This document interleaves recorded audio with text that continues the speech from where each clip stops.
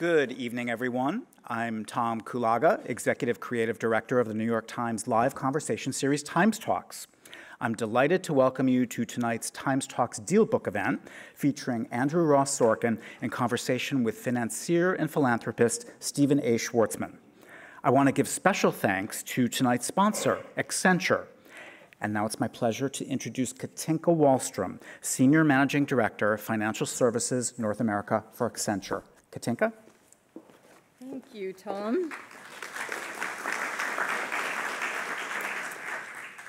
We are proud to sponsor tonight's Times Talks DealBook event. I know we're all excited to hear the discussion between Andrew and Stephen, so thank you all for joining us this evening. Tonight, I wanted to spend a minute, and only a minute, on Accenture's commitment to innovation. Innovation might be a buzzword these days, but for us, innovation defines the way we bring intelligence and insights to help our clients every day. This includes the 800 million that we spend in R&D every year, and the close to 7,000 patents and patent applications that we have in areas like cyber and cloud and artificial intelligence and blockchain, and the hundreds of researchers that spend their time anticipating and staying ahead of business and tech trends that we believe will change the world. To be truly innovative, we believe that it starts with a culture of equality. At Accenture, a core tenet is our focus on inclusion and diversity. To deliver creative ideas, to bring diverse perspectives, we need lots of different skills at the table. This commitment starts at the top, and we expect our leaders at all levels to help create and sustain a culture of equality, where everyone can advance and feel empowered to be their best, both professionally and personally. We've set bold gender equality goals, such as achieving a gender balanced workforce by 2025. Reaching these goals uh, will support us as we continue to bring fresh perspectives to help solve our clients' challenges and discover new opportunities. So, with that, thank you for joining us. And now back to Tom to introduce tonight's panel.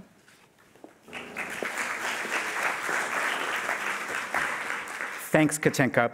We're very pleased to present Stephen A. Schwarzman, the chairman, CEO, and co founder of Blackstone, and author of the new book, What It Takes Lessons in the Pursuit of Excellence.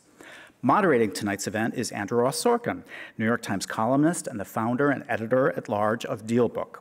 He's also a co anchor of CNBC's Squawk Box and the author of the best selling book, Too Big to Fail The Inside Story of How Wall Street and Washington Fought to Save the Financial System and Themselves, reissued last fall on the 10th anniversary of the 2008 financial crisis be sure to pick up a complimentary copy, complimentary signed copy of both What It Takes and Too Big to Fail following tonight's event, courtesy of Accenture. And now please join me in giving a very warm welcome to our moderator, Andrew Ross Sorkin, and our special guest, Stephen A. Schwarzman.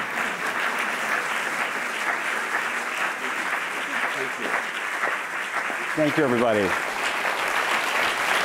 Hey there. Stephen Schwarzman, everybody. Thank you all for being here this evening, and thank you to Stephen Schwarzman for sitting with us. Uh, we're going to have a conversation, and at some point, we're going to open this up and try to make this an interactive conversation. Uh, Steve is. Uh, well, you all know who Steve is, but he is now an author.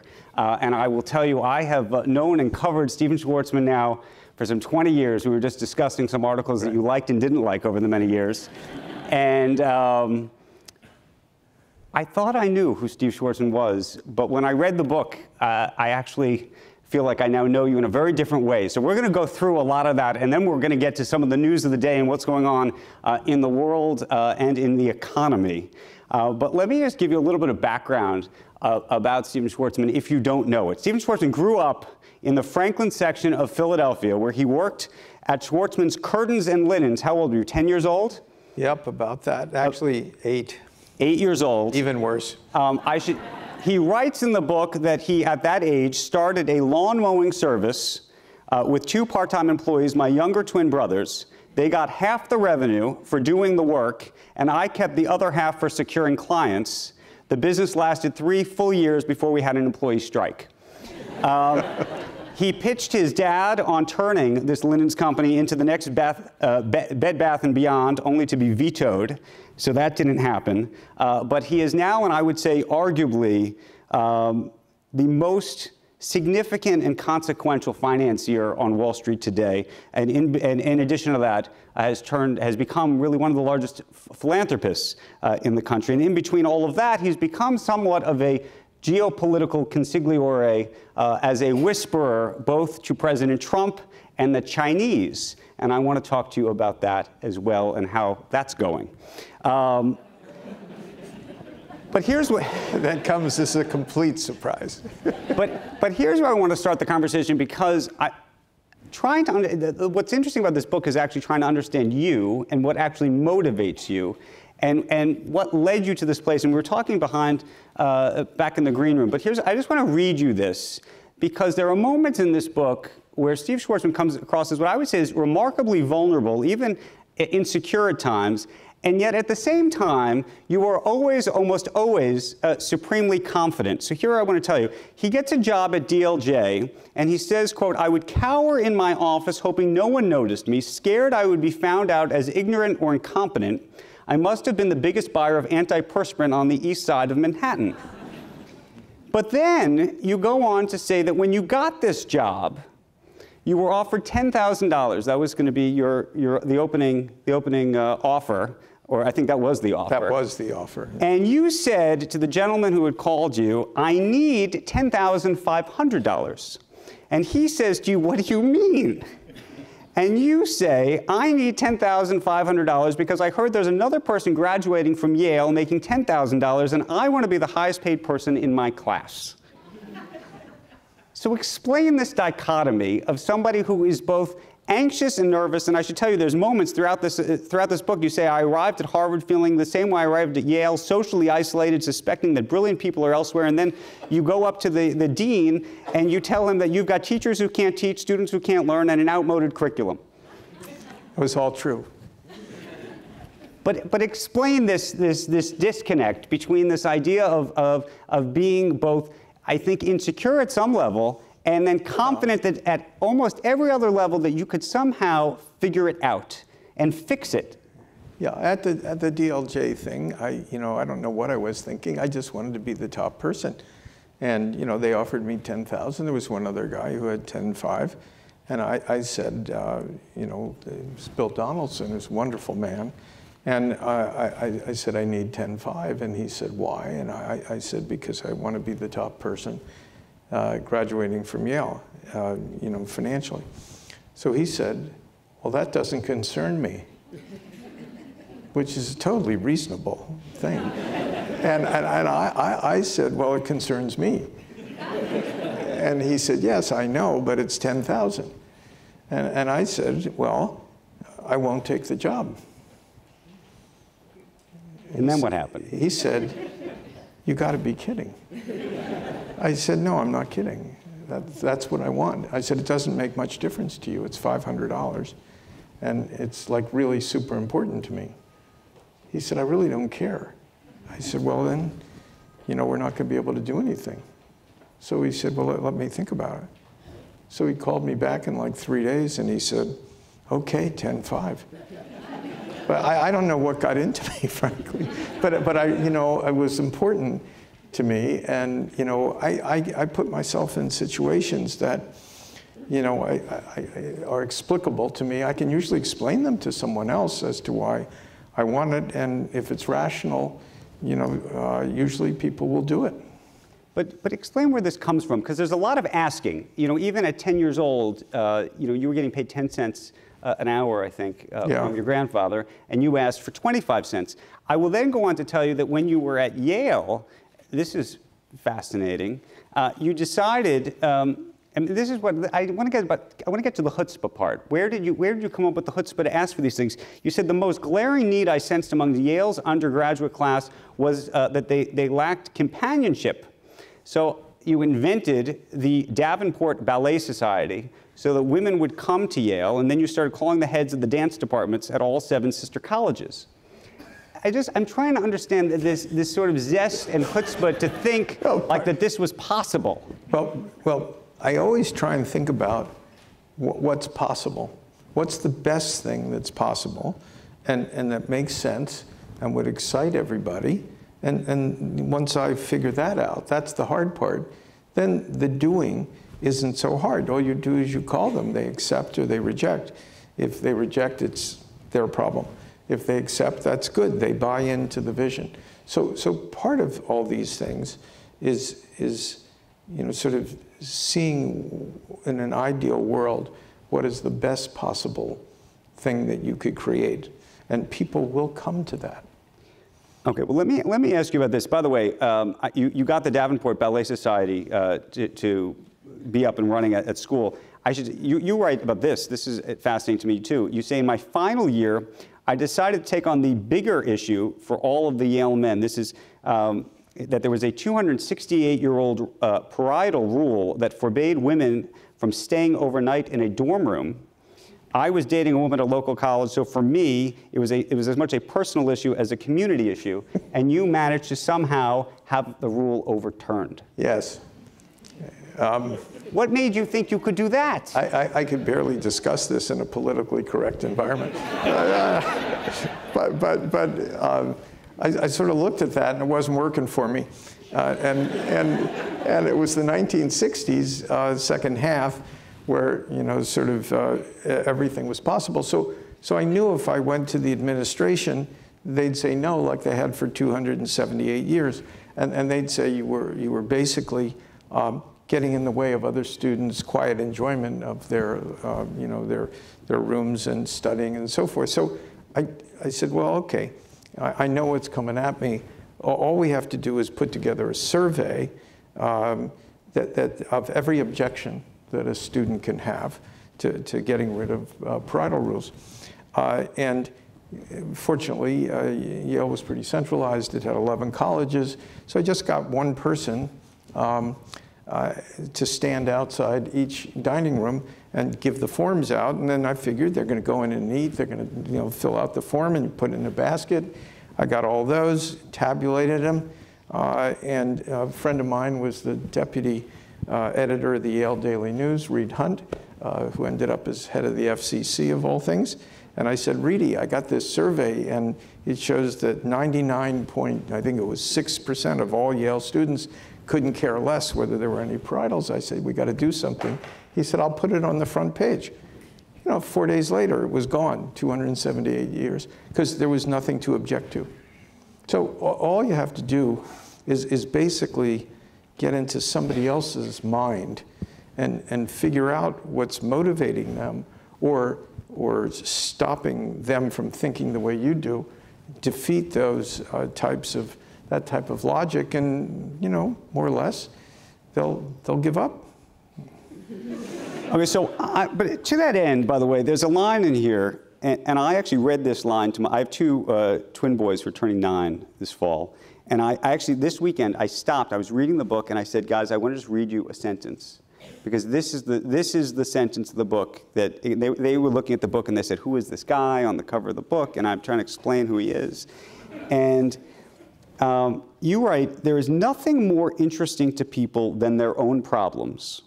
If you can find out what they are and come up with solutions, they will want to talk to you no matter what their rank or status in life. Yep. When do you think you knew that? I, I, When do you I- think you realized that? uh, junior high school, and um, there was you know something going on at my school, Huntington Junior High School, that was all messed up, and it was like difficult for everybody in the school. So I figured out what a solution would be, and I just went to see the principal, which is like a big deal when you're in the eighth grade. And I said, Dear Mr. Norton, I, I said, you know, it's sort of the following situation, sort of a mess, and I think this is what we ought to do with it. And he basically said, that's a good idea. I hadn't thought about that. You know, let's, let's do it.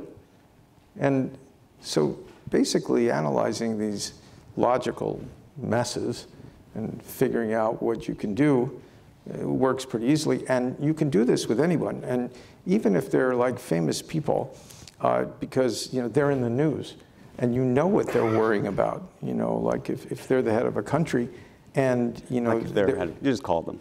You know, and, and, there's something going on that's clearly troubling, and, and you, you find some way to talk with them, they'll definitely focus on things because obviously they haven't fixed it. And it's, it's, if it's front page in the news, and if you can offer some good suggestions, uh, they'll, they'll take them on board and discuss them.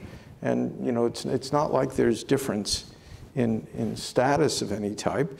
It's really just about dealing with, with you know, what's on their mind. Right. And you know, everybody's looking to solve their problems, right? So it's not, it's not that big a deal. It just seems to be a big a deal if you're standing there with somebody who's like a big deal and you're not. So, How much so, do you think you're driven by what I might describe as a healthy, and it can be debilitating, but a, we'll call it a healthy insecurity? And the reason I ask is, you know, when you started your firm, you had left Lehman Brothers, and you started your firm with, with Pete Peterson, this is Blackstone, and Blackstone was not working in the first six months uh, at all. And you write in the book, you say, I felt I was failing on every count. I was overwhelmed with self-pity. Wall Street loves nothing more than watching other people fail truer words have never been spoken. Uh, to see Pete and me, who had been so powerful at Lehman, so sure of our success, take a beating would have given many people pleasure. I couldn't let it happen. How much do you think that's what this is about for you? Well, that's certainly, um, once anybody uh, decides to do something, particularly with their life, um, it's, it's a must do. I mean, you, you, you can't fail. And you try and think really carefully before you do something. And if it's well conceived and it's not working, that just means you have to move it around. Or, you know, maybe you're too early, the world isn't ready for you. And so you just suck it up and go back again.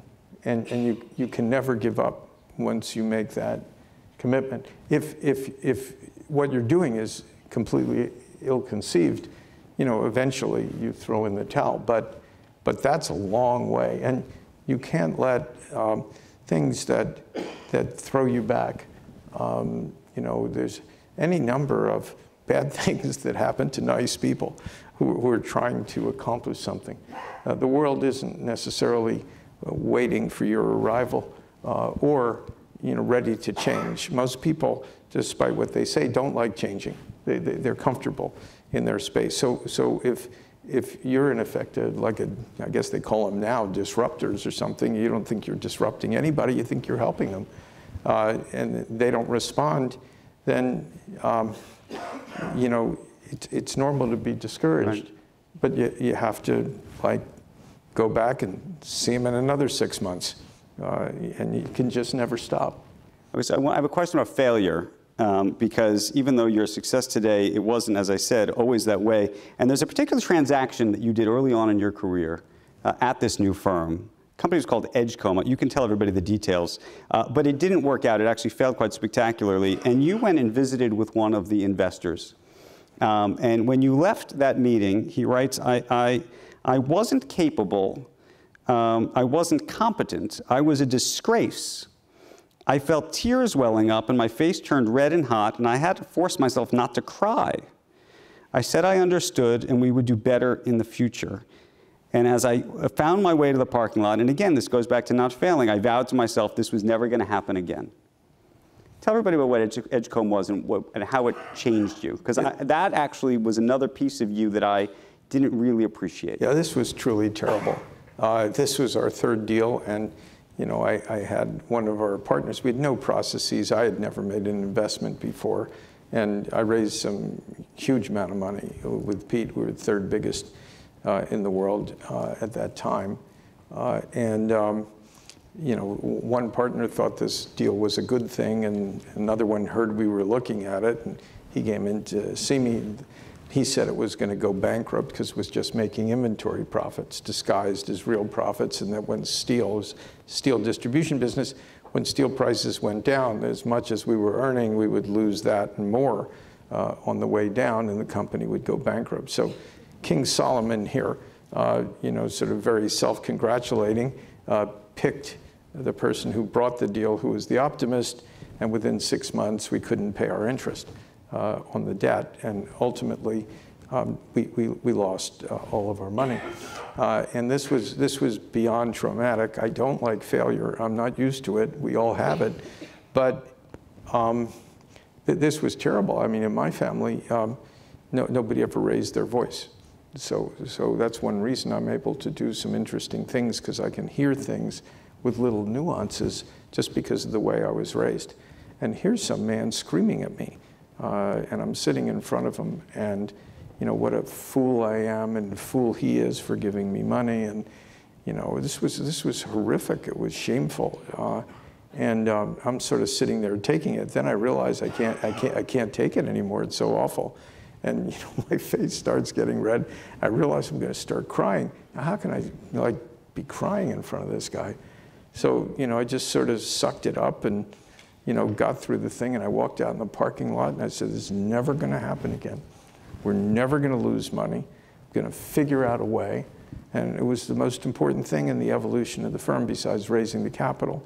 And we figured a way out, which is terrific, and we still basically do it today, where instead of one great man uh, or woman, you know, uh, sitting at a table with everybody coming in and being interrogated by that person, you know, uh, historically what we've done is we use everyone at the table. We, we don't have anybody who's a paid audience uh, and, you know, just sort of to watch.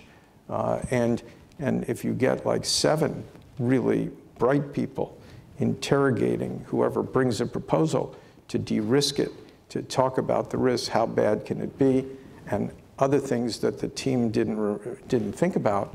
By the time you reach the end of those eight people, boy, those people who brought something in, this is like a really, really uh, interesting experience, and you learn so much. Then you set them back again for the stuff that they didn't think about. Then they come back, and they, we have procedures. You write everything up, you put the risk factors and the other things, and, and then you do it again to them. And by the time you do that three times, everybody knows everything about this one proposal. We can figure out all the risks, and it's completely impersonal. You know when you're walking in that room that's going to happen to you, you will be filleted. It's fun. And, and it's, it's, it's amusing. It's a contest. Uh, and so the team itself is infinitely better prepared because they know what's going to happen. And we do that. And then when we make a decision, it's with those two or three key variables. And that's usually if something blows up and it's a bad deal, that's why 90% of the chance, that's what it is.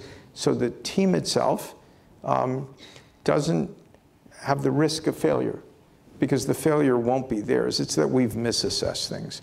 So it leads people, ironically, to be very psychologically comfortable because one, they know what's going to happen to them. It's all just, it, it, it's an exercise to learn and protect them, protect uh, the firm, uh, and it's not dependent upon that one great person who normally, in most organizations, they take care of that interrogation. And when they turn that team down, they go away, they don't like it. If that team comes on another deal, if he, does, if he or she doesn't like it, they turn them away. The people like it even less. The third time they come, if it's a month or two later, and they're turned down, then it's almost like open warfare. And the fourth time they come, almost no matter what they have, they'll be approved. Because the person making the decision just can't stand the psychic pain of, of, of the passive aggressive nature of, the, of smart people, you know, who, who are trying to get something approved. And, and that's where most bad deals come from. They, come from an organization that's worn down in decision making, and they know they're making a marginal decision. So we get rid of that, and we don't let that happen. And by, by instituting that, we took my liability, which is not so gifted, not so smart, and, and surrounding myself with people who are gifted and smart. And as a team, we just attack this. Um, not attack people. We never attack a person, ever. We're attacking content, and it's regarded as such, and it's very successful. I love watching it now. I don't have to do so much. And you know, everybody's trained uh, to do that. It's fun. Let me ask a couple other questions uh, about the firm and its success, and then I want to get into a couple of other issues, uh, some in the news, and I want to talk about philanthropy as well. Um, it's a philosophical question because you and I debated this like 20 years ago. Um, the issue of size and scale yeah. in the investment world. And the prevailing view 20 years ago, if not 10 years ago, if not now, is that size is the enemy of performance. And you have become one of the biggest firms in the world. And you were the first firm to go public. And when you, when you write, by the way, about fundraising, you say, if you're going to uh, go to all the bother of raising five to $10 million, you may as well save yourself some legwork and ask for 50 to $100 million. And, and I, I, was thinking about that. How much of that is about just the legwork piece, and how much of it is, is about the, the idea that you think you can actually do better with more? Well, it's both. There's a certain efficacy in not wasting your time. And, you know, if, if somebody will give you 100 million, why take 10? You know, it's like, you know, it's more efficient. Uh, but the only reason you want that is because you can do something with it. And, you know, I, I guess when we were talking 20 years ago, I, I said I, I, didn't agree with the premise that, that large um, basically, you know. I think you did because you were smaller. Well, no, we were never small. We were smaller. But we started out as the third biggest in the world. Uh, that's not so bad for a startup. Uh, you know, there are other people have been doing this for a lot longer. Plus, we didn't know anything.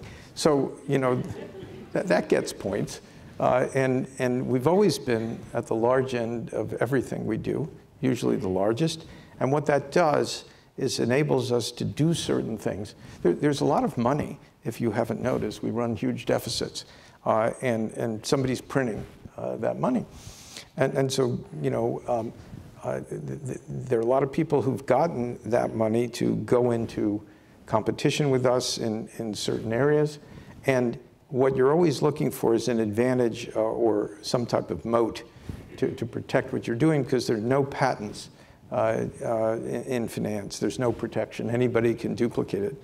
So if you're, you know, sort of in effect can do the largest things uh, in the world uh, to the extent that they are on offer and it's sensible to do, by definition, you won't have much competition at all you know, if you do something in the middle, there are probably, you know, 400 to 1,000 uh, companies that can compete with you. And, and so um, you, you also get this, these amazing flows, uh, and you become the friend of uh, financial intermediaries because we, we, we are the largest fee payer uh, in the world. And one thing you learn about intermediaries, they like fees. They like to be paid and if you can pay them more than anyone, that makes you more popular no matter how fundamentally unattractive you are. Uh, so, so, so, so this, this is like a mutually reinforcing uh, system. Right. Uh, and, you know, like today, I think we announced something for like $5 billion, uh, so, some company that we were buying in the real estate in, in, in business. And, um, uh, and, you know, it's like nobody competed with us. It's, it's hard to put that much up on one deal, and we've got two other ones going on, and we just agreed on something else that's a secret just because it is, uh, you know, that needed a billion six of equity. The number of firms that can just put that up and not worry about it is what? How many? Not much. So we use that as a uh, as, as, as a as an advantage Okay, so in the news right now then, yes. what do you make of what Masa-san at SoftBank is doing? And the reason I ask is he's got yeah. a $100 billion fund, he's got another fund, we got this WeWork IPO or non-IPO coming, and a lot of people look at that size and scale and say, ooh, that's, that, we're not sure that's gonna work. Well, it, it has to be deployed, but um, in a sensible way. What Masa did is, is actually, you know, sort of um, like, I, I, may regret I say this, but it, it was almost genius-like because what he did is he invented a new capital market. So, so you used to have these little venture com companies, all of which were at the top end were famous. May maybe they would have a billion dollars of capital.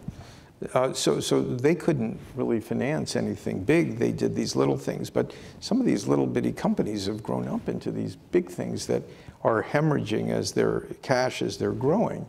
Uh, and so you either go public, which itself isn't big enough uh, to fully fund uh, the equity of that company. You can't borrow money because the thing has no uh, uh, cash flow typically. And, and so what Masa did, which is like really genius-like, is he said, you know what, there's this whole layer above venture capital that if I raise $100 billion, I can write any size check. There's nowhere else these companies can go. And so I will own the whole emerging venture business. And he does.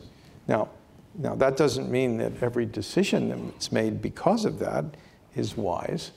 Uh, and I'm, I'm, not speaking for that. I'm sure there'll be an array of uh, outcomes. But geez, positioning yourself as the only place to go, the only place to go for, you know, all of these. Do you think it's going to work? I, I, I, it depends what, what, you, what you pay for what you get and whether you've analyzed right that the thing can really keep going. And on that, I, I can't uh, opine on it. Uh, you know, I'm sure there'll be some, you know, sort of significant disappointments.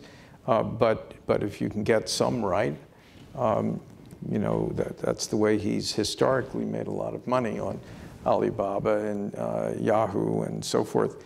Um, so, so, you know, it's, it's to be determined, but I'm just talking as somebody who creates uh, things myself. Um, I looked at that and I said, that was like when Mike Milken created the junk bond market. Didn't really? exist. Didn't exist in 1982. And he sat around, he came up with the whole thing, and now everybody, you know, in finance um, of a certain type, you know, either invests in, in junk bonds or issues them if you're in the buyout business, and was one man's right. genius. It's very much like Masa. Let me ask you this. What do you make of the reputation or image of the world of private equity? And I will tell you, because I remember it very well, and you do too, um, in 2007, and you make reference to it in the book, but only, only in a paragraph, um, there were a handful of things that happened. You went public, you had a 60, famous 60th birthday, um, which became a symbol of the times, um, and there became what became known as the Blackstone tax. Never went into effect, I think you might have even blamed me at one point uh, for uh, promoting the tax. Um, you write, by the way, about the birthday, because I was looking for it. Um, a little understated. You said it was a great night despite unfavorable media coverage, which created some controversy around the event. I, I stand by that. But no, really, and especially today, I'm curious because there is, of course, this big discussion in America about the idea of inequality and where we are, and sort of how you think the private equity industry fits into that. Well, there are about four or five questions buried in there. Um, I, I, think the private equity industry is, has, has um, in, in effect suffered from, from some of the practices in the 1980s when it was mostly a cost-cutting you know, kind of business. Uh, and, you know, starting, you know, sort of 15, 20 years ago, that, that really changed because as prices go up, you can't make money by cutting prices. The only way you can make money uh, is, is by making the asset that you grow grow really fast. And the only way assets grow fast is you have to invest money in them. And if the objective uh, is, is to grow faster because then your exit multiple is much higher than when you buy it and your earnings are much higher. Uh, th that's the way uh, that, that the business has to be done. What happens at that time uh, simultaneously as you're growing, you're hiring more people. So it's a really positive sums game. Uh, and, and some people look at this and you know, realize that at some point, sometimes you have to change what the company's doing. And, and you know, some people, uh, you know, don't, don't remain em employed, but you hire other people to take those jobs. So there's some turnover maybe in a first year. But the objective is to build a much bigger, much better company. So, you know, our, our companies at Blackstone grow significantly faster than the S&P. And we end up earning around, um, after fees, um, you know, like roughly double uh, the S&P. Uh, and, and, you know, we've created uh, somewhere around 100,000 jobs in the last 12 years. And I, I, look at this and say, what's wrong with this picture? Uh, and, you know, sometimes, you know, people will say, well, this company owned by the private equity industry went uh, broke. Well, you know, if you're in the retail business now, you, you, don't have to be in the private equity business to go broke. You've got plenty of help, you know, um, and, and if you're in the news, so somebody else will say, well, you know, there's a company owned by private equity in the newspaper business. You know something about this. And, you know, how many newspapers have done well over the last 15 years? And, and so they take one example. Meanwhile, you know, 40 newspapers go broke that have nothing to do with private equity. But it's convenient to, to point this out. Uh, going through the financial crisis, um, you know, private equity companies didn't go broke any more than unleveraged companies a bit of a proof of concept, I would say. That was the global financial crisis, supposed to make a mess, and, and it didn't, which surprised people. Right. And, and so I, I, I look at a lot of this and say, part of this is left over. Part of it is, you know, people don't understand exactly what we do, and we are obviously terrible marketeers explaining what we do. I, I had a very funny conversation years ago uh, with Mrs. Mer Mrs. Merkel, who, who, had just become head of uh, Germany. Uh, and, and, you know, there was some adverse publicity, and she asked to see me. So they I were calling you locusts at the time. Yes, they were calling us locusts. So, so I went to, to meet with Mrs. Merkel. It was a small meeting. Uh, you know, it was myself, and she had somebody with her who's now head of the central bank of, of Germany. And um, so, so she wanted to know about private equity. And uh, she said, um, uh, I don't even know if I should do this, but, but she said, I heard you are locust. I'm with the Chancellor of Germany. I can't believe this, right? So, and so she's I, doing it with the fingers. Yeah. So, so, so I said, I said, Mrs. Merkel, um, I am good locust. so you want to know how this stuff works. So she said, she said, basically, tell me what you do. So I told her what uh, we do. And she said, that sounds very logical. She said, so if it is so good, why are not all companies private equity companies? Because she was a physicist, so she's very logical. And um, I said, well, some of them just don't fit if they need massive expenditures like mining companies and certain other things, but others of them would profit from doing that. She said, she said well, I, I didn't know anything about this, but now, now I understand. So, uh, you know, it's like being a prophet to people who don't want to listen. But, but it, this is actually a very good uh, uh, thing, and, and you know, it involves uh, 11 million workers in the United States now uh, out of 151 million uh, people who have jobs. So it's not real big. Uh, in You're saying for the private equity industry? Yes. Still. Yeah, it's not that, you know, it's not that big. Can, can we engage in a talk about about carried interest? Because you know I have my views. If you would and, like to and you have yours. hold forth on this, Andrew. Well, I just, I just I always like listening to you. No, no, I, you don't have to listen to me. I would just say to you, and I just want to understand the argument because I have I've struggled, as you know, for, for more than a decade now, to understand the argument because I feel like that your tax structure on a personal basis is more incentivized than my tax structure. I happen to be a W-2 uh, employee in life. Uh, you may actually, I don't know if you're a W, you're part of a partnership. So I don't know how that's it, exactly structured. But the point is that, that, that your income to some degree is more advantaged, if you will, than mine, irrespective of our own investments, meaning I could, I could have investments in the stock market, you could have investments in, in the stock market, or you could have investments in your uh, things. I'm happy to, to capture the capital gains that way. Um, but on the actual work product, this is one of the few industries where the work product counts in part as a capital gain. That would be my argument. What's yours? Well, I could never win an argument with Andrew. let's start from there. But this has only been going on for almost 100 years. Uh, Our know, debate, or? No. As old as I am, I'm not that old, uh, and, and neither are you. Carried interest has been treated as a capital gain for, you know, since the 1930s. So, so th th this debate has, has, has become uh, politicized. It was always a uh, capital gain. And, and, and so, so it's a politicized thing now, uh, which, which you, you, can always take uh, any side of that. So uh, I, I, actually don't want to spend my evening of, of right. fighting a hopeless fight uh, with, with Andrew, but you know, you, you, you should recognize that, you know, um, uh, for any of us who, who work in uh, New York City, who live in New York City, with the kind of incomes we have, carried interest, capital gains, ordinary income, your tax rates are somewhere between 45 and 50 percent. Uh, you know, this, this is like a lot. Uh, there, there's no avoidance. There's no sort of odd behavior that, you know, some people uh, have. We don't. You know, we have like the income's the income, and that's the range of what we pay.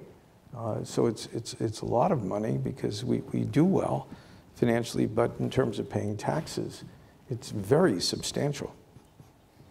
Okay, that's a longer debate, and, and we will continue to have it over the many years, but we're not going to do it right now. I do want to talk a, a bit about uh, philanthropy, and, and, then I want to get to uh, where we are in the economy and, uh, and your relationship with Donald Trump and the Chinese at the same time. Um, but I want to do I want to do philanthropy first. Sure. You have managed to give away $100 million to start the Schwarzman's uh, Scholar Program, which is a Rhodes-like scholar program uh, for U.S. Uh, and Chinese students. Um, you've uh, devoted $150 million to uh, Yale to create a culture and student life center there. $350 million recently to MIT for a new college of computing related to AI um, and then a $188 million donation to Oxford University in the UK for humanitarian, uh, hum, hum, uh, uh, humanities, uh, it's a humanities hub is what it is. Plus, plus, plus um, New York Public Library. Plus the New York Public Library. For 100. And some, Thank you, Tony. So my question is, I assume you get asked, if not every hour, at least every day, for money. How do you decide where to give, when to give? Um, what, what's the thought process in all of this, and what's your next big one?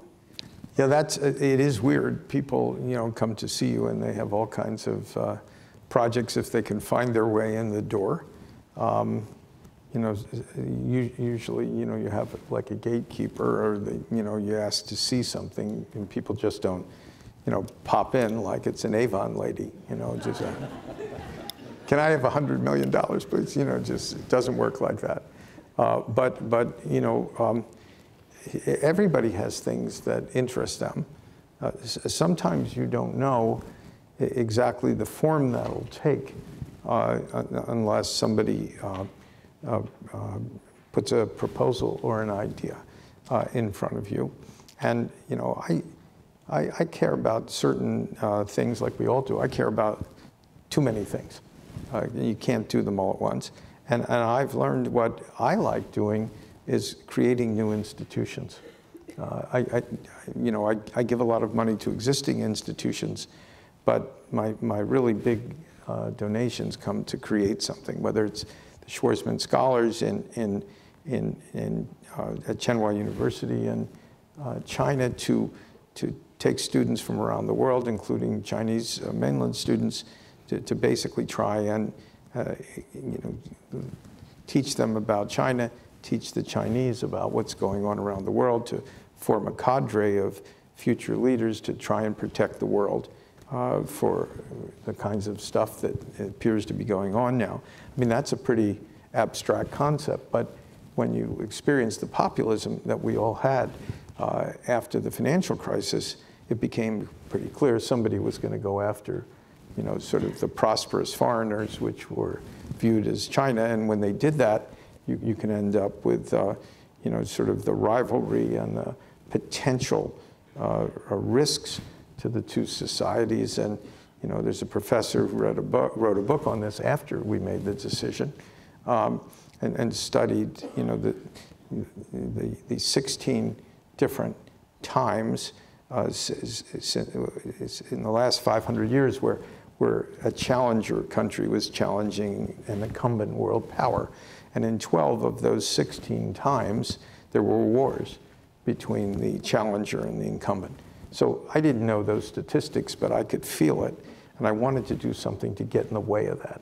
So, so we created a whole, you know, built-in you know, college, and you know, we've got students, live students, professors. It's really amazing. It's extraordinary, the people that we've gotten. And now it's it's sort of like the Rhodes and the Marshall, and you know, we accept you know, like four percent, and we get 97 percent.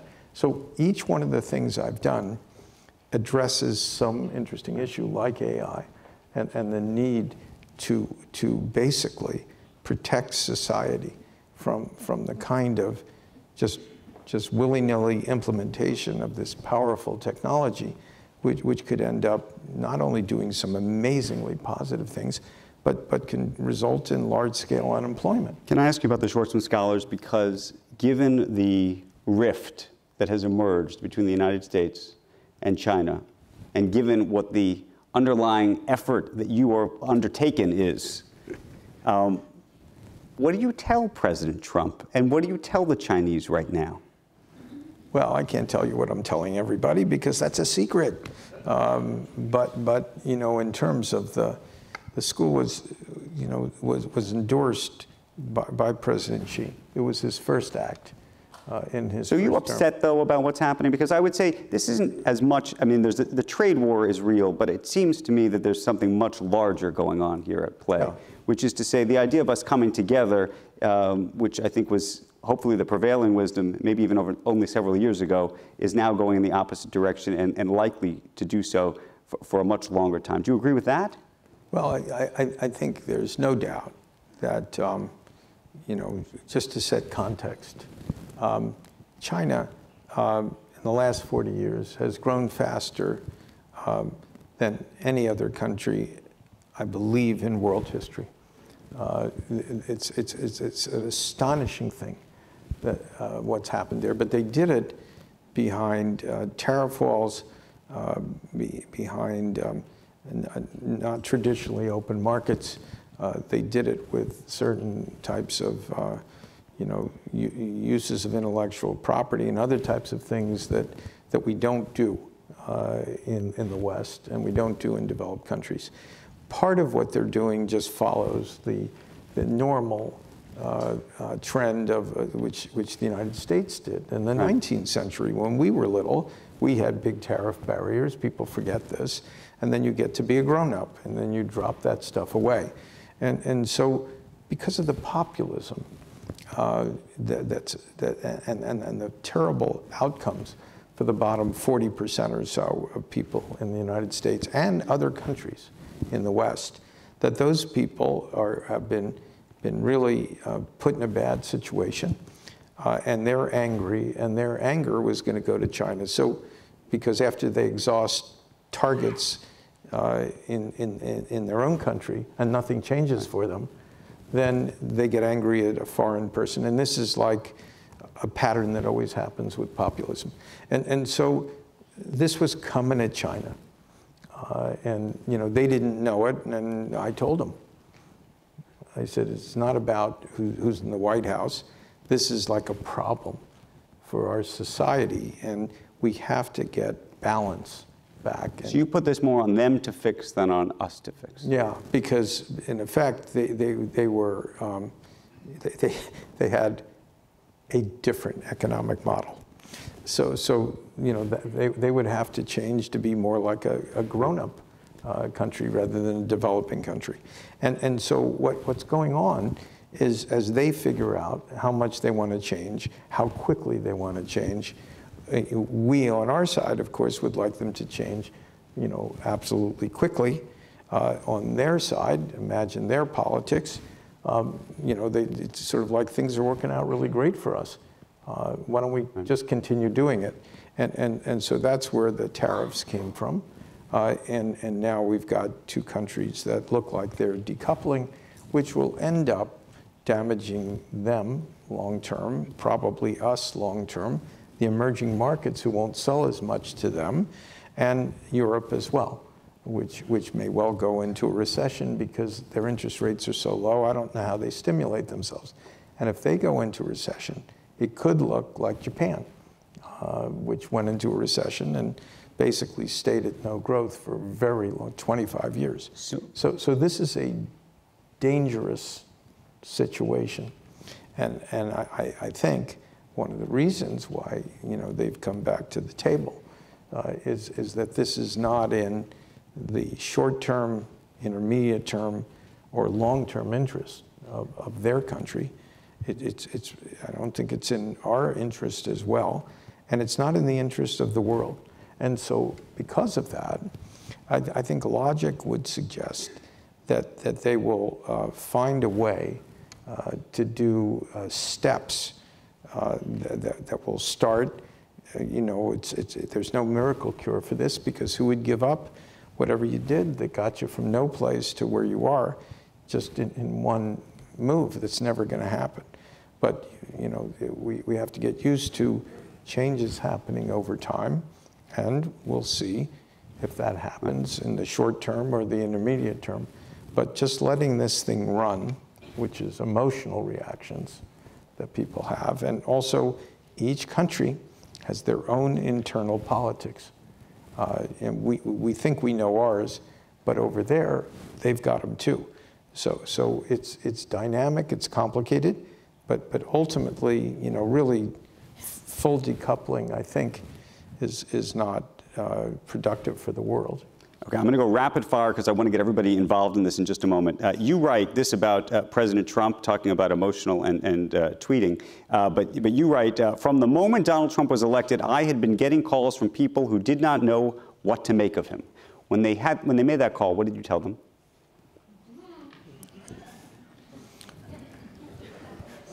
I told them not to listen to these tweets. Told them not to listen to the tweets? No. Because?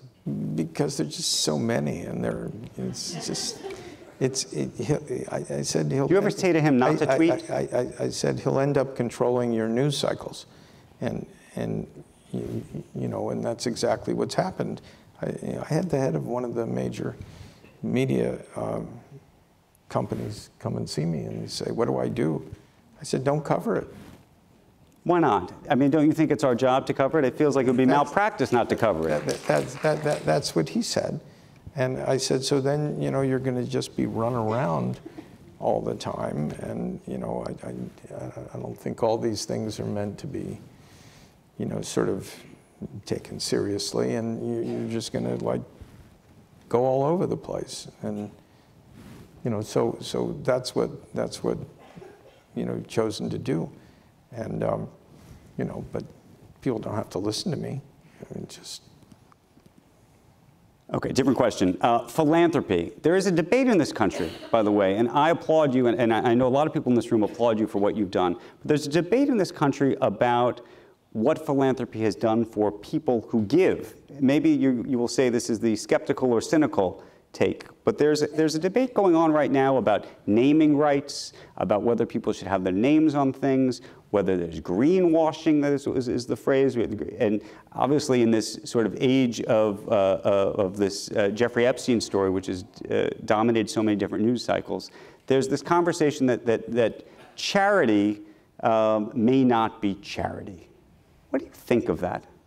You know, it's interesting because, you know, I've, I've heard this, and uh, I was um, I was at Oxford, and um, I didn't know that much about Oxford, and somebody was taking me around, and uh, you know every college has got a name, and I you know I'd go by it. I think they have like 30 colleges or something. Or, and I, I said, what, "What's that one? Oh, that that's the name of some business guy in the 1300s who gave that." And uh, really.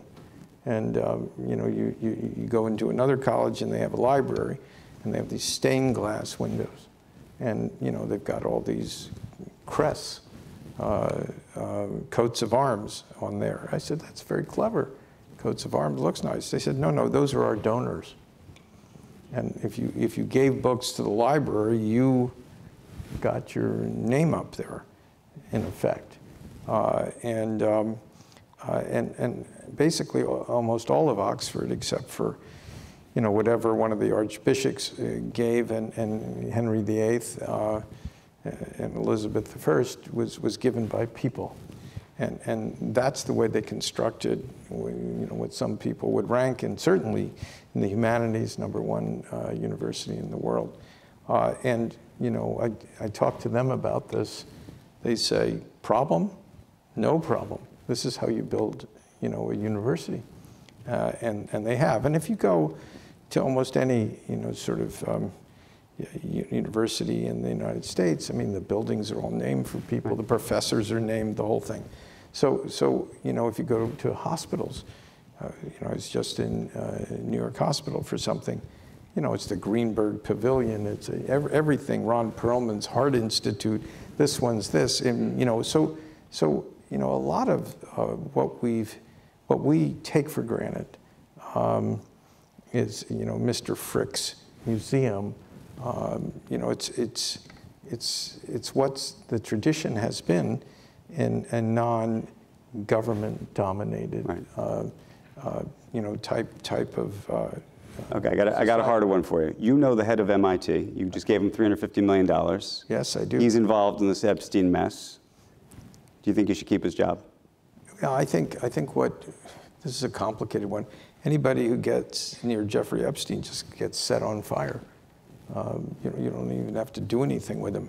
Uh, and um, so, so, so, that situation was, was basically um, all, all uh, developed uh, with some donations that he gave after he um, uh, was out of jail, uh, you know, on a, a previous uh, administration.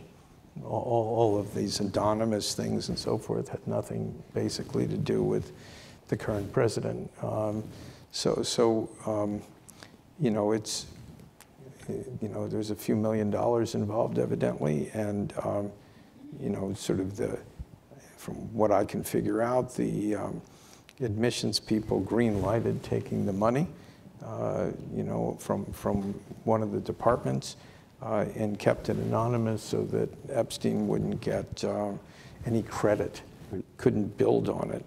And, and that's erupted into, um, you know, sort of uh, today's scandal, today's Epstein scandal. So you'd say keep his job?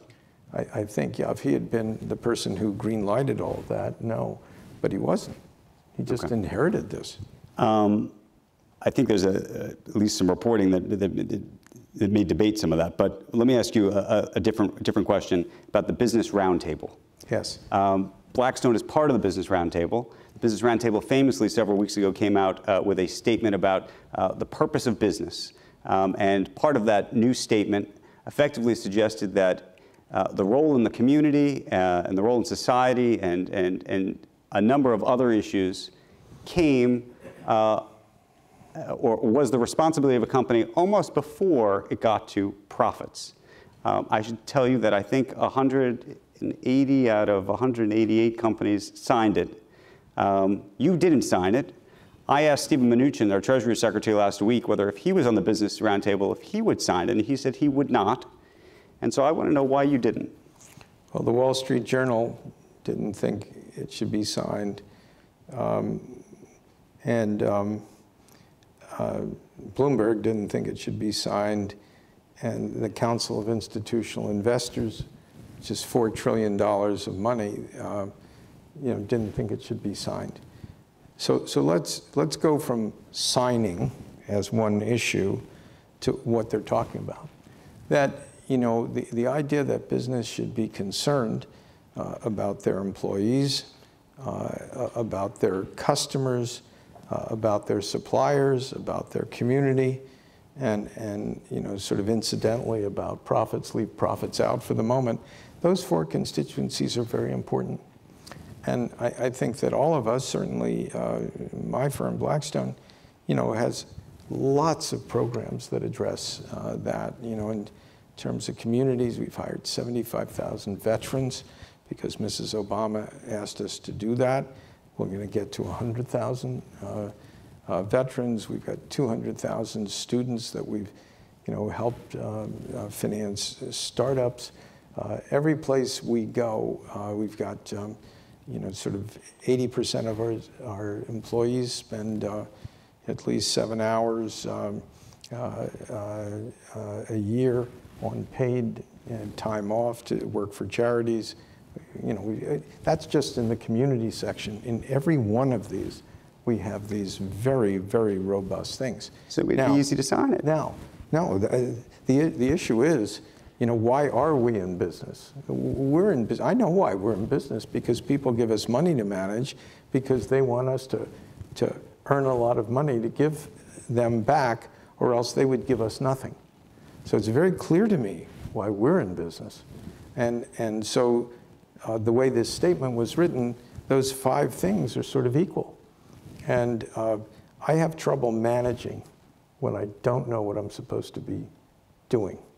So I know what I'm supposed to be doing, which is making good investments safely uh, and having a great contribution to these pension funds and regular people. Right. Now, should we do these other things? Sure. Do we do these other things? Sure. That's not the way the statement was written. It was written basically everything is equal. I don't think you can manage appropriately to do that. And, and so we didn't sign the thing. I, I don't look at that as a big deal um, because we do everything anyhow. And, and so uh, the reason the BRT could do that is that the companies that belong there, which are you know, I guess about 200 roughly of the biggest companies in the country, because everybody's already doing it. So, so that's not a big deal. So, so in, in a way, it's a confirmation uh, of what people were doing. Uh, our, our, our general counsel said, Steve, you can't put yourself in this conflict position where nobody knows what your priority is, because you can't have five priorities and trading them off. On the other hand, you can do all these things you know, in, in a sensible, you know, ESG-oriented way. And we're proud of what we do. I, I, don't like having this discussion. It's not as much fun to be the odd person out. But the fact that, you know, you have all these other people from the Treasury Secretary down saying that he wouldn't sign it, not because you don't believe in, in, in honoring and doing something important for all those constituencies. We're voted the best place to work in finance. How are our employees doing? Apparently okay, right? And, and so I, I look at this as a little bit of a red herring. Okay. Uh, we're going to open up for questions. Final question from me, and I know we're going to run out of time, but uh, this is my favorite sequence in the entire book. Um, this is about Christine, your now wife. Uh, this is the first date, folks. Uh, I thought our first date was great. She thought it was weird. She was expecting me to pick her up, but I was working late and we were going to a party close to my office, so I sent a car over to get her instead. I jumped in the car and said, Hi, I'm Steve. And then I proceeded to flip down the visor mirror and run an electric shaver over my face. Didn't make a good impression. I mean, I always, you know, um, you know, had the car, and when I got in the car, I was always rushing because we didn't have a big staff and it was you know, like 1993 and the business was exploding with growth. I wasn't a great manager, so I'm working, you know, like some rat in a maze, uh, you know, looking for cheese. And, and so, you know, I, I, just couldn't, if I wasn't working on something, there, there wasn't anybody else working on it. Uh, so, so, you know, I sent the car over to pick uh, my date up and, you know, and, and we had like a, thing with my driver where I got in the car, he'd give me the shaver, and you know, because I didn't look so good, and I wanted to clean up. I did the fact that somebody was sitting there just didn't didn't didn't compute. And I, I, I, looked over, you know, I was like, you know, in the mirrors, and I looked to my right, and this person was just completely shocked. And, and then I realized she should be. I mean, it was just, you know, like, there you go. And she's your wife. She's Thank you, Steve Schwarzman. really appreciate it. Let's try to open it up and get a couple of questions. I have gone way over time, and I apologize to everybody here. We will literally try to do it uh, just a handful of questions. There are some mics here, and why don't we think maybe try to do two on this side and Well, we only, let's see if we can do two or three on this side and try to sneak some in if we can. And if not, that's fine too. Just go. You have a question? You want to scream it out? I can scream it out. Actually, they're going to probably want you to, to, to use the microphone.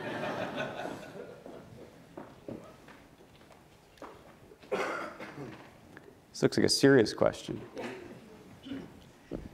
It is said that by 2050, more people will die from infectious disease due to antibiotic resistance, primarily because of the current factory farming and agricultural practices. And also, as we know, there's an alarming rise in nationalism and anti Semitism in the world, especially with the Holocaust only a few years ago. Do you have any vision or any initiatives to both save the planet and create world peace?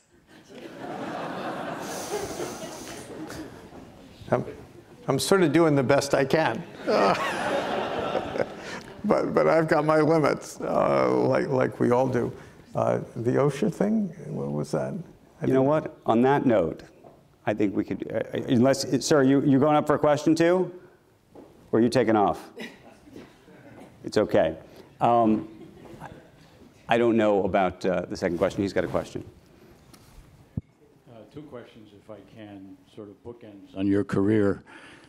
Um, I wonder if you could talk about what your primary takeaway from your experience at Lehman was at the time, and then reflecting on what happened to the firm.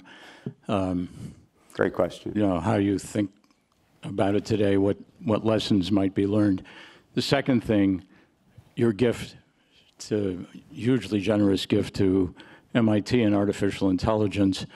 There are new technologies coming a mile a minute um, at the world, AI, robotics, additive manufacturing, big data, all of these things, which stand to increase productivity in the United States and elsewhere enormously, but also potentially have an impact on jobs.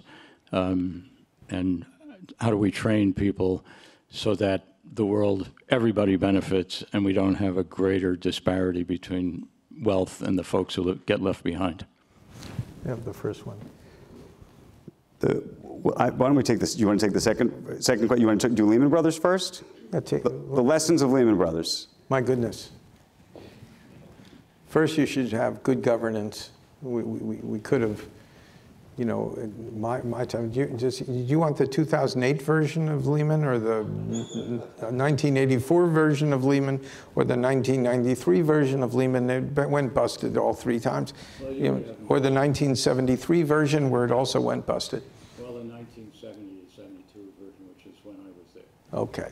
So, so, so basically, the firm was undercapitalized, uh, and it had a trading operation, uh, which um, basically was not appropriately controlled, uh, and, and uh, it, it ended up in uh, real financial difficulty, and it was uh, rescued.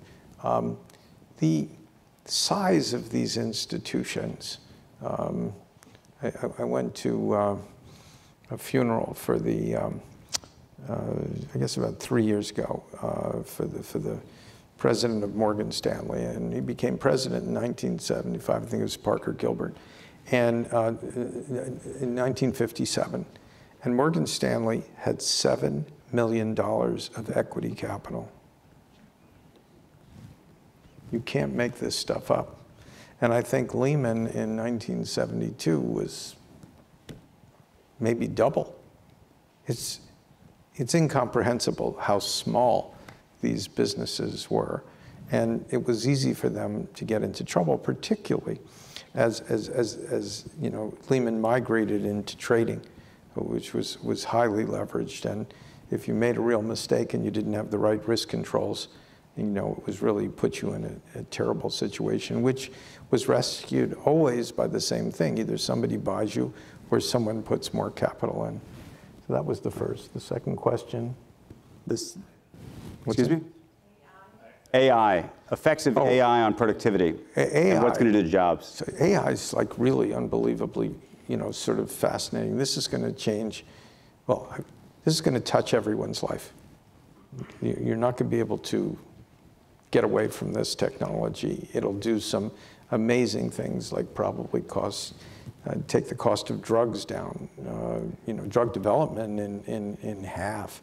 You, you'll, you'll have remarkable things in education where, where people can be educated by machines. I mean, there, there's one crazy thing that somebody was telling me about at MIT where, you know, like um, uh, kids um, from, from, you know, sort of lower income and middle income families can have pet dogs that are like machines. And the dogs can teach them all the time, and the dogs will go with them everywhere. And, you know, it's like the dog will be your friend, like for real, not like a dog dog. Like, you know, I've got three dogs. I mean, I love them. They jump up on me, I pet them. These are different. These are talking dogs. And, you know, they'll, they'll, they'll quiz you, they'll brief you, they'll teach you. Uh, and, you know, th th these are just little parlor tricks. But, but what, what, what's happening, I'll, give, I'll just give you one idea. Uh, I, I, had a guy come to see me about two months ago uh, from another country, and he said, he said, uh, uh Mr. Schwarzman, I'd like to offer my services and uh, help reduce your costs uh, at your companies. And we have about 200 companies that we own. So I said, well, what, what do you have in mind? He said, well, I think we can get rid of 40% of the people in your HR and your accounting department. I said, how do you do that? He said, well, it's actually very easy. Uh, we just take a camera and we look at what everybody's uh, uh, working on, their processes, and, and, then, you know, we, we stick a thing into the hard drive and uh, then we know everything that they're doing. And then, poof, you don't need 40% of them, we can just do it. Mm. And you'll save an enormous amount of money, and then we're getting going on different departments. And I, I, listened to this. I said, Well, how advanced is this technology? He said, This technology is primitive. It, it's there right now. I, you know, I could do this for you, you know, like next week. And you talk about an existential question. I said, Where are you going to do this? He said, There are about 80 countries that would work well with this. And, you know, um, I'm, I'm going to be one of the richest people in the world. And I'm sitting there going, OMG. What kind of challenge is this to the society as we know it? Because we talk about creative destruction. This ain't creative, this is just destruction when you unemploy so many people so quickly and you do it globally. Uh, so, so, so the, the, the reason I'm involved with AI is one, to push things forward because they're fascinating, good things. But the AI ethics component mm-hmm.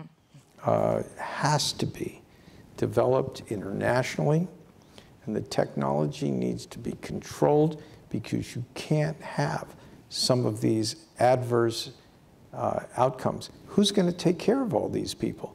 What is the purpose of a human once all these machines start really getting their mojo, right?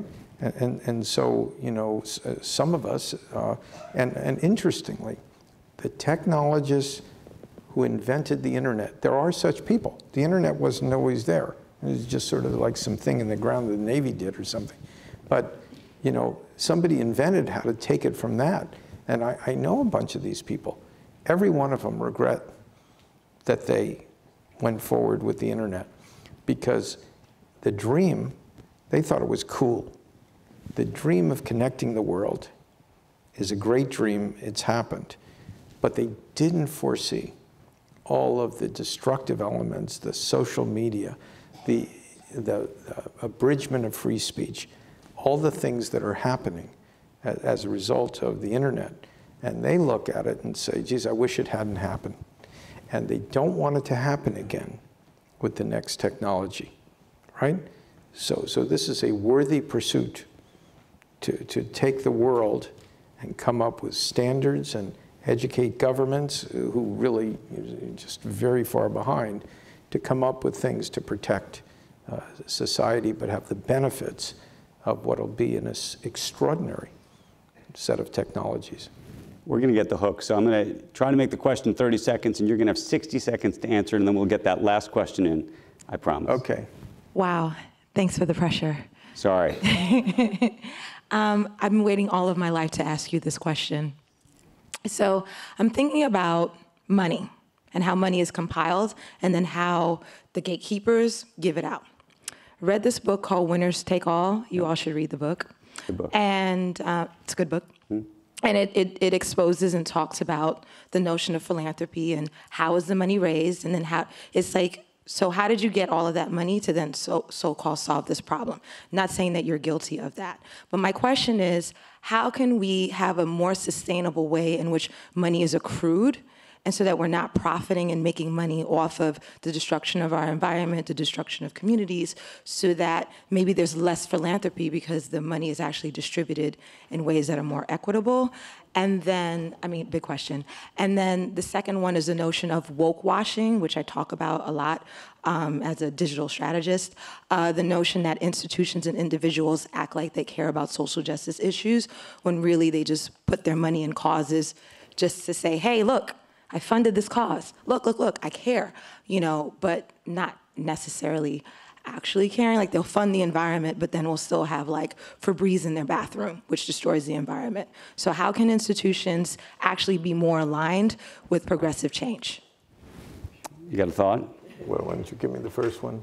I had trouble The, fir- the first question, effectively, uh, is, is really about this book, Winners Take All, which is this idea that wealth in America has been concentrated in the hands of few, not many, and that effectively, wouldn't it I mean, the book effectively makes the argument that rather than leave it to philanthropists to figure out where they should be putting that money, that that money should have filtered itself uh, into the government through taxes and other things, and that that would be a more democratic approach. And, and I, I would ask you, what do you think of that?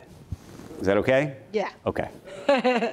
Yeah, um, you know, on uh, both sides uh, in terms of allocation of monies. The biggest issue for me uh, is, is that the education uh, that people get uh, in America now is is not up to the task of helping people get the appropriate jobs. Uh, and we're, we're suffering, in a way, in- from, from, from income inequality, yes, but it's really income insufficiency. We've always had income inequality. And, but, but what we've had historically is everybody's been able to have a good deal you know? And, and that's not the case now. And a large part of it is, is because our, our primary and secondary education system, which used to be at the top of the world when I was young, apparently I'm no longer young, and now, and now, and now we're down, I think I'm young, uh, but um, now we're about number 30 in the world. You- I'm a teacher as well, so you, I'm well aware. You cannot have a country that is not prepared to compete on a global scale. There is no reason for it. There is no excuse for it, and it and, and, and it's it's it's so horrible on people who are not prepared. Uh, it's it's not a failure per se of the business community. If you don't get the raw material and, you know, of people who are educated, so I, I think there's a lot of things you can do. Uh, with that, uh, the Catholic schools in New York do an amazing job. Uh, they've got uh, 90% of their kids who are minorities, 70% at the poverty line or below. They graduate, uh, 98% of their kids, and uh, uh, 96% go to college. This is such a different outcome with the same students that I, I am really optimistic. I also think that, um, that teachers should, should be the only group of people in society who do not pay tax. Yes. And, and, and the reason is, is, is that they are underpaid. Uh, and if we want to educate our, our children, uh, we, we have to put the best troops in the field. And right now, there's so many alternative things that they can do that you may not have the absolute best people that you did when I was educated in the 1950s and 60s. So if you gave them that special status, one, it's helpful for them financially, but at least as important, it marks them out as special people in our society with a special role. Thank you for that. I know there's a second part to the question. We're going to run out of time, so I'm just going to get to that last question that you have right there, and I apologize. And, and then we're and then we're going to unfortunately have to. Uh, I know they're going to rip us off the stage. but This, this is Last Dance. last dance. Thank you. This was great. I have two quick last dance questions. The first is you mentioned how important it was to really understand people's problems, and then when you presented solutions, they would be open to hearing them. At this stage of your career, you certainly have the reputation and credibility that people like Trump and China will listen with open arms. As you were running through the ranks, though, and battling the duality of insecurity and self confidence, how did you navigate the political nuance of having these ideas but want, wanting people to actually listen to them rather than having a perception that you were omniscient and why should they listen to you as a young man in the industry? It's a great final question. Yeah. We're going to leave that as the final question. I, I, I, I, I- I think um, pe- people respond uh, to somebody um, who's, uh, you know, who's, who's, who's pretty sincere, um, you know, in, in terms of addressing, uh, you know, things. Uh, and if, if, if, you, basically make it clear that there's nothing in it for you, uh, it's, it's really just trying to help a, a situation, and, and you're snappy about it. No, nobody wants to wander around as, as, you- as you present grand visions. You, you got to be sort of an effective salesperson and say, you know, I understand you're worrying about X or Y or Z. There are four things that you can do in this situation. As soon as you go into action steps, you don't have to describe problems for people who already know they have them. All they want to know is what are the solutions. So if you put four things out and two of them are really good, you, you got like a friend for like a long time because they've been working to try and get that situation resolved and they haven't done it. So anything that you can do, and you do it quickly and, and without emotion, and you know just sort of lay it out, then they'll listen and you can help everybody. All I can say is you were really great sports to be here tonight. It was Please, really nice. please Thank you. join me in thanking Stephen Schwarzman. The book is called What It Takes. Thank you, Steve. You were a sport.